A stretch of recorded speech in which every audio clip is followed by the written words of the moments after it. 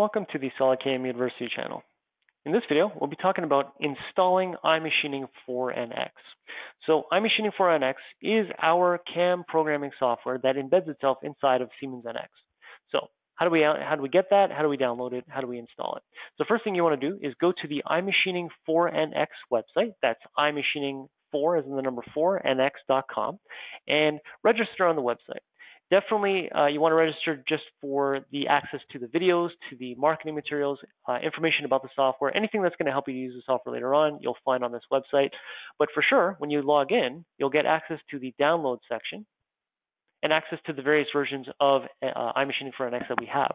So I've already gone ahead and downloaded this, but uh, one advisory before you even click on this icon here to download it is to make sure you disable your antivirus antivirus softwares tend to block some of the things that iMachine for NX wants to use to embed itself inside of NX. So you definitely want to make sure you disable your antivirus as well as set your UAC to zero. Uh, so once you've done that and you've downloaded the software, as I've done here, all you got to do is just double click on it. Okay, and I'll just bring the window over. And the installation is very simple. There's a few things you want to look at when you're going through these windows, but generally it is very simple. You're just going to open it up and we'll say next. You want to agree to the user terms.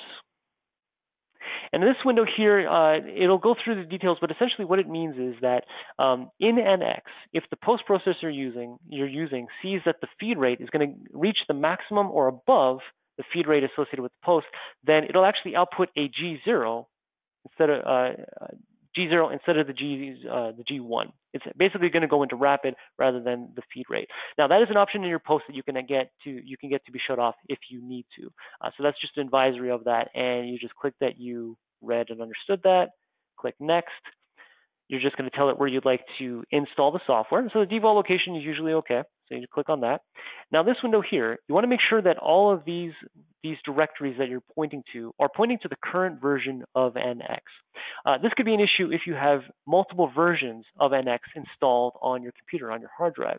So if you do have multiple versions, just make sure you look at this and uh, make sure that it's pointing at the current version, the version that you're looking to use with iMachining for NX. So everything looks okay here. I'll just click install. And of course, we'll just go through the motions here. It's a very quick install, as you can see. It's almost done.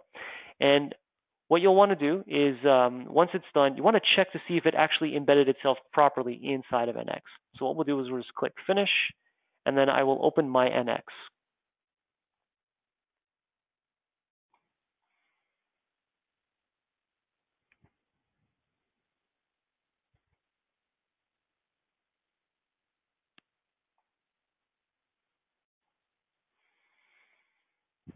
Okay, so now that my NX is open, I'll go to new part.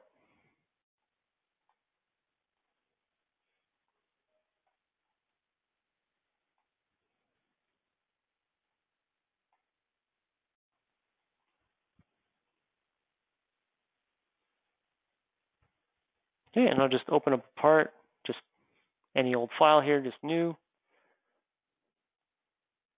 Okay, and I'll go File, Manufacturing, just open up the manufacturing mode. Click through these items. Now everything in this part here, you'll see in video one of the, um, the Getting Started series. I'm just going to skip ahead here to just going to creating the actual operation to make sure that I have access to iMachining. And you can see there it is in the menu. I'll just click on that, create the operation, and I'll go as far as just checking to make sure that I can open up my user parameters. As you saw in video one, or you will see in video one, um, this is how you create the iMachining toolpath. And you can see here, I have access to everything here. So iMachining for NX has properly installed itself inside of my NX software.